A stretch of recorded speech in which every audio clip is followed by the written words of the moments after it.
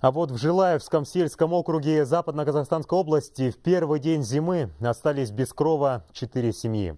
Пожар почти полностью уничтожил их дом. Погорельцы разместились у родственников и ждут помощи от неравнодушных людей. Я когда вышла, уже вот муж Бибигулькин, он уже здесь выбивал дверь, но мы не могли выбить дверь.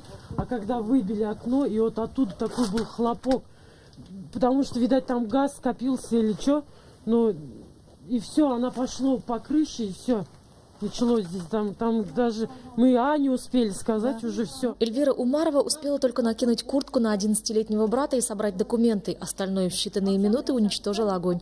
От старенького дома барачного типа, построенного как временное жилье для путейцев почти 80 лет назад, остались только стены. Людских жертв нет, но четыре семьи остались без крыши над головой. Из вещей только то, что успели надеть. Ветерану тыла Ольге Яковлевне пришлось переехать к сыну и невестке. Но это не одно, сейчас вот если нам одном делать, это ж как, как вот делать? Тут все за одна, одна крыша. Вот тут же надо всем сразу. Четыре семьи. На всех один расчетный счет решили открыть и сами погорельцы. Когда новость появилась на сайтах, многие стали предлагать помощь, рассказывают потерпевшие. Вот мы сейчас теперь счет открывать с интернета, вот люди э, свои помощи оказывать хотят, просят.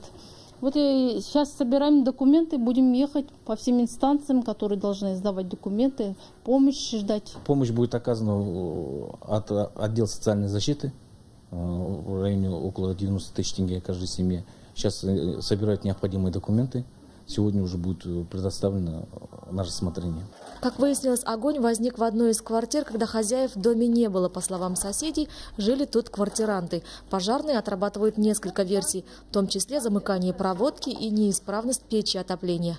Фотогос Базарбаева, Руслан Газезов, Канат Махмутов, Западно-Казахстанская область.